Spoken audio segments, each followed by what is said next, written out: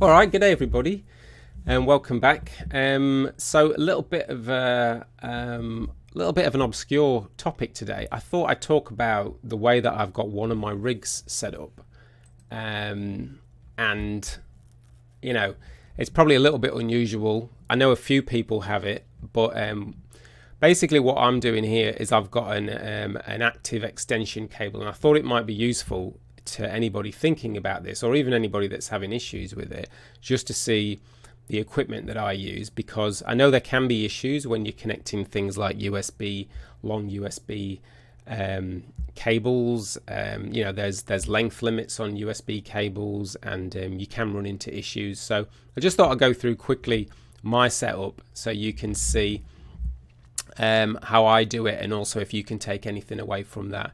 Now, obviously, this is not going to work for everybody. Um, I'm in southern Australia, and the temperatures here mean that it doesn't get that far below zero as well. So I don't need to worry too much about, for example, leaving a USB powered hub on my on my mount. I do leave.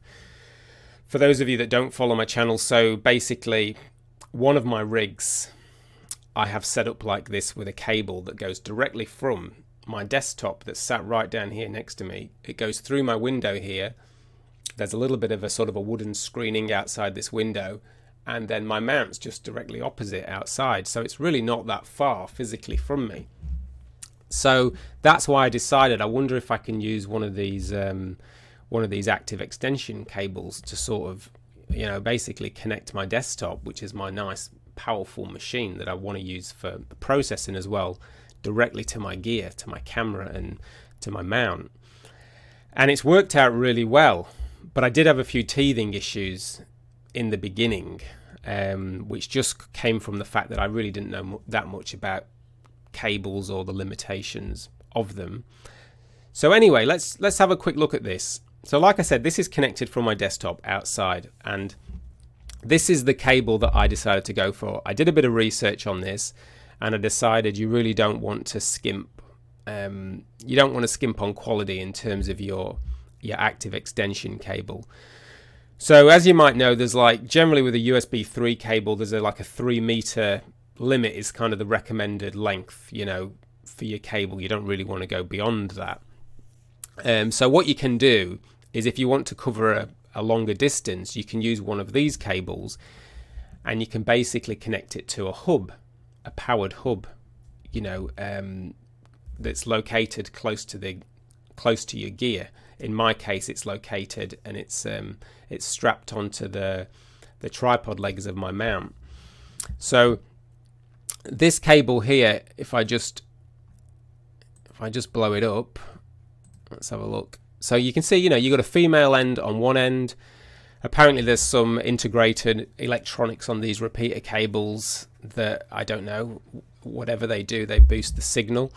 Um, and obviously, it it requires power as well. You do want to get a powered um, repeater cable. Um, and then you've obviously got the, the male end. So, you know, this ends on my computer, goes up through my window. Um, like I said, I've got it connected through some sort of screening so it's not on the floor. And then eventually it goes down towards my mount. And I have this female end strapped onto the mount legs, the tripod. And um, that's where I have it then connected into a powered hub. And you know, this cable now is sort of two years old and it is still going strong.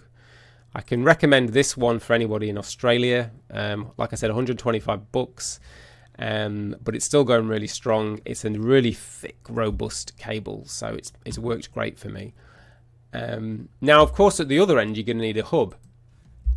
And when I first got into this, I did a bit of research. I didn't want to spend a ton of money but I actually got this particular hub here recommended on a, I think it was an Australian Astro forum. It could have been a US one.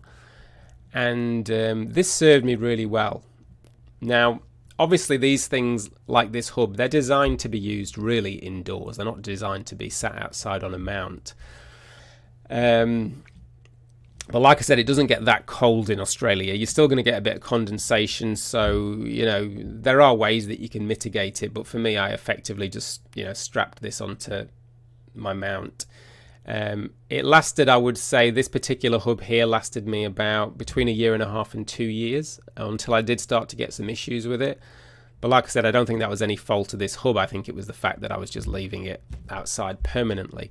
Um, I think I paid $40 for it. So, you know, as a way to get going, this this can be a really affordable, effective way um, to get yourself started. Again, it needs to be a powered hub, and this particular one does come with a little power adapter. You can't see it on here, but there's a little female input, and you do put a little um, power adapter. But you know, this and that cable served me flawlessly for like a year and a half without issues. You can see this one's got a mixture of USB 2 and 3 hubs, um, ports, sorry. So moving on to that, um, I was looking at just replacing this with a second one, basically. I was just going to get another M-Beat hub and I thought, oh, well, you know, another 40 bucks, it's not that bad. And I came across this one, which was, um, I was going to buy, and then I found it sort of second hand for about $40. And I thought, okay, well, this looks all right. Um, it's a bit more, a bit more upmarket, I guess, 130 bucks. Um, but again, it gets really good reviews, this particular hub. Um, it's a it's a powered hub again. It's got like 10 USB 3 ports on it. You know, I'm only using 3 ports, so you obviously don't need that many you don't need that many ports. But if we have a look at it, you can see here you've got your um, DC uh, 12 volt input and then your USB 3 connector cable there, which again obviously would connect to your um, your active repeater cable. So again, this has served me really well. I've not had any issues yet with this. I mean, I've only had it on for a few months, but this has served me well. Um, and yeah, no problems. Now, again, just make sure with all of these things, what I did find in the early days is you will have issues if you make if you don't have these powered. So what I would often find would happen is I would get things like camera download issues. Um, I used to think it was the cables that were connected between the hub and the gear, you know, like maybe those ZWO cables. But it turned out it was just the fact that at one time, um, when I first started playing around with this, I I can't remember which one I did, but I, I ended up not powering the the hub itself, and um, I could actually tell because when you connect to your camera, if you open something like SharpCap, and I can recommend SharpCap as a good way to troubleshoot this. You'll notice when you connect to your camera in SharpCap, it will tell you at the top if that camera is connected via USB 3 or USB 2. It actually tells you in the title bar of SharpCap. And um, if you're not powering this, it will often tell you that that's connected via USB 2. And as well as that, there'll be other issues. So, like I said, I was getting these camera um, I was getting these camera download errors, like you know communication with camera, unable to download the image, blah blah blah. Um, and it's easy to get misdirected then because I was thinking, oh, I've got cable problems between my camera, and it turned out it was actually just um, that I hadn't powered it in the early days. So anyway, make sure they're both powered, and you should be all right. Moving on from that, now recently maybe not that recently, but a few months back, I came across one of these guys. So it's a Pegasus Astro control hub. And I thought, wow, like I found this like at a reasonable price, a guy that didn't want it anymore. So I got it secondhand. It looks like it's brand new. And um, unfortunately, straight away when I connected this, I started getting those same camera download issues that I used to get. And um, I tried troubleshooting it. I thought to myself, it can't be anything wrong with the hub. You know, it takes a 12, 12 volt um, input, this hub, so it was powered and everything. Um, and I was trying to troubleshoot what the problem was. So I thought it must be the cables, where one of the cables had gone between the camera. Tried changing the cables, still got the same error. So what I then did is I bought the hub inside just inside my office here and I connected it all up to the same camera and um, I didn't have any issues at all. So it was basically, it seemed like this didn't want to speak well to my Lindy um, active extension cable over here. They just weren't getting along, and I thought that seems an obscure problem. Like I found that quite a, uh, you know, I found that quite a stretch to think that it it would be the the combination of this cable and this this hub that really weren't working well together. So um, I emailed Pegasus Astro, and um, they came back to me, and basically all they had all they had to say was that unfortunately there are some compatibility issues between their control hub and certain um, certain cables, certain like active repeater cables. So you know, I, I can't say I fully understand how that works, and it's a bit of a shame because I do have this now, which is um, which I, I can't use with my with my repeater cable. Um, I might try and troubleshoot it a bit more, and if you guys have had any experience with this, maybe you've figured it out, or you know you've you've had a similar problem, do let me know. Um, but that's a bit of a shame because these these hubs are very expensive. Um, I think to buy these brand new, there might be, I think there might be three to four hundred Australian dollars. So, and these things are designed to go like down to something like minus thirty degrees. So they're actually designed to sit outdoors as well. So it's a bit of a shame that I can't actually use this. Um, seems to be the way of astrophotography. Um, compatibility issues and troubleshooting one thing talking to another thing. So anyway, um, that's just a recommended um, gear if you are considering these active extension cables and things to look out for. I hope it's been some help.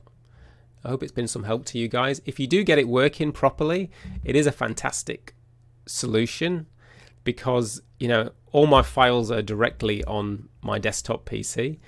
Um, it means when I'm looking at anything or when I'm when I'm sort of you know I'm never I'm never having to go at least from one setup. I'm not having to remote to it, so there's no lag with it. You know, all my files are ready there to process um, on my main PC. So it's just really convenient if you can do it. Like I say, I understand uh, it's not going to be a it's not going to be practical for everybody. And my second rig, I do use a little Intel NUC, which works fine that I remote to. Um, but it is a bit more. Obviously, there's a bit of lag, and I then have to transfer those files to my main um, my main desktop PC to process. If you do want some more information about cables, if you want to go down the rabbit hole, like I did a little bit with this, um, this is not a bad place to look. Um, yourcablestore.com. I just found a nice article on here that talks about USB cable length limitations. Um, talks about the maximum length, how you can get around those length limitations, talks about what an active repeater extension cable actually is, um, and you know various limits. So that's that's quite a nice um, article to read, and I'll I'll stick the link in the description if any of you guys want to look further into this. So look, um, hope that's been some use to somebody who might be considering this. Um, and um, I think that's that's it for today. I'll stop waffling on, as I'm sure I've gone. I'm sure I've gone on enough. So, hope you guys all have clear skies. I hope you're getting some clear skies. I'm not having the best of luck at the moment, but hopefully I'll get some images out um, soon. And um, yeah, thanks very much for watching. Do consider a like and a subscribe if this was any use to you. And um, I'll see you guys soon. So catch you later and clear skies.